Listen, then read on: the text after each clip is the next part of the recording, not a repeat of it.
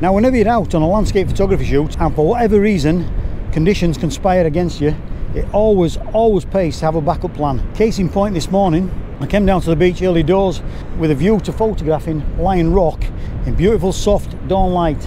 Then carrying on the shoot into sunrise. Unfortunately, neither occurred. I was a bit downcast and a bit, yeah, whatever. I've taken a few photographs, nothing really floating my boat. And then I thought, hang on, hang on here, hang on, let's try plan B. I've given a couple of comparison shots between certain cameras and uh, certain techniques, see which you prefer. Good morning from Piha Beach on the wild west coast of New Zealand. This is around about 30 minutes drive from the western suburbs of Auckland and it's a world-class surf beach but uh, not today. It looks a little bit too choppy for that. Now we had a drive down here yesterday just to check out the beach and, and see what possibilities were for sunrise. Land potential is there. It's always there but unfortunately the weather gods have uh, slipped me a slack one this morning. It's pretty much clagged in. There is a bit of clear sky rolling above my head there as you can see. Hopefully sometime throughout the morning I'm going to get some light cast onto the rocks there.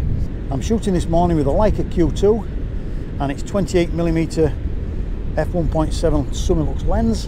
What I'm liking about this shot is I've got this stream running the length of the beach here and it just snakes off into the ocean got a nice reflection of the rock going on and we've got obviously some uh, some nice reflections of the clouds in there so uh, that's at the moment that's working out okay now the sun is going to come up there and you can see a little bit of blue sky there is going to hopefully frees up some light onto there.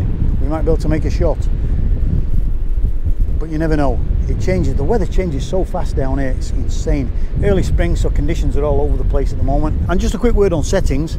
At the moment, ISO 50, F11, it's giving me around about a 20th of a second. So I've got it on a two second timer just to eliminate any any motion blur, any shaking, because it is a bit gusty.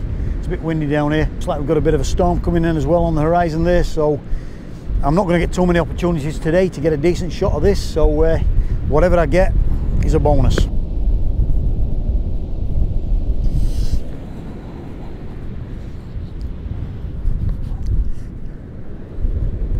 Might be a bit of a retreat back to the van shortly because uh, the weather's coming in. The light is certainly not playing ball at all. So I might nip back to the van, get a coffee, get some breakfast, reassess. On what I can see at the moment, that just ain't going to happen. Well, I've emerged a couple of hours later. Look, we've got a little bit of light casting on the scene. And we're going to get a bit more once that blue sky comes over.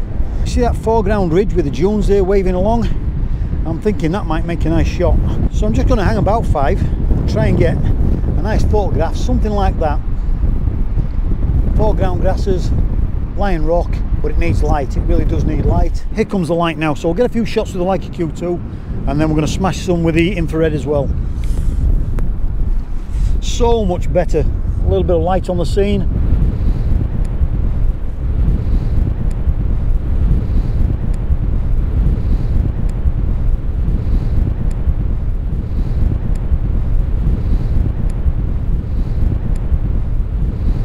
So I'll take a few shots with the infrared just because we've got some nice light on there now.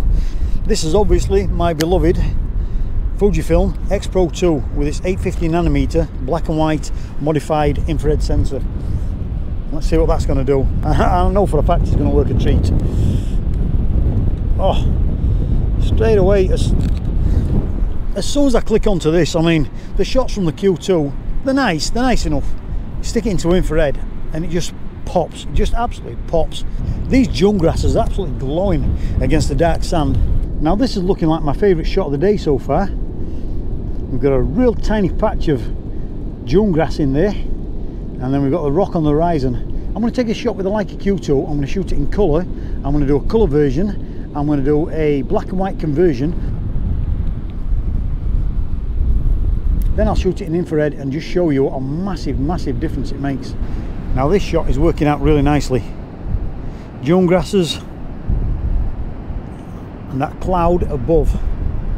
Now again it doesn't look too much on the GoPro but in infrared you've got these foreground grasses standing out pure white. You've got the black sand you've got the rock you've got the blue sky which is going to render dark and then you've got the white clouds which are going to pop right out.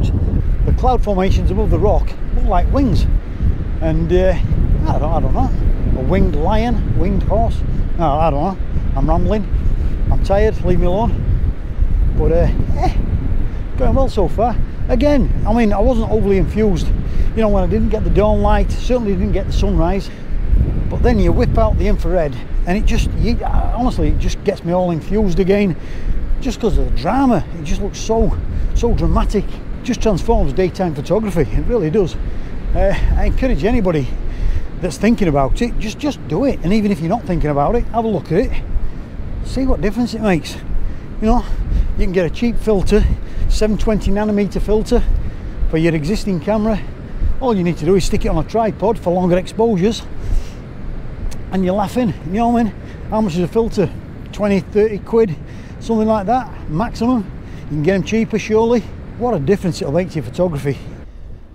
Around the other side of the rock now. And that's, uh, look, look there, look there. We might make a shot of that. We'll do a colour version, a black and white version on the Q2, and then we'll do it in infrared and just uh, just compare the three.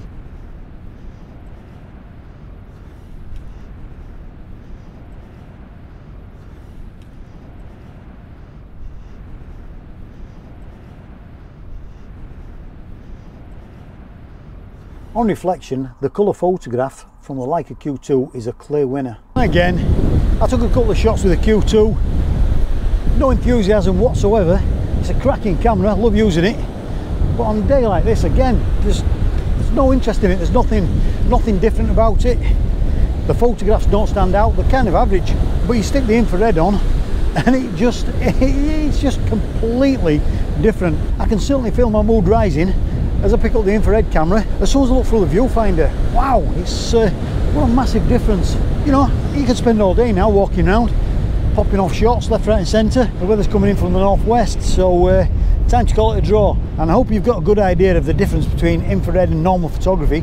Now, I have made some nice photographs with the infrared. Unfortunately, they've come at a cost. Uh, I chucked my sandals on the beach here and romped off to get a couple of photographs and like a spanner, turned around and you saw my sandal just sweeping away into the ocean.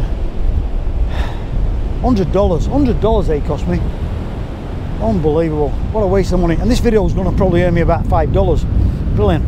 So as always, thanks for checking in and I'll see you on a future episode. Look at that. Oh. Happy days.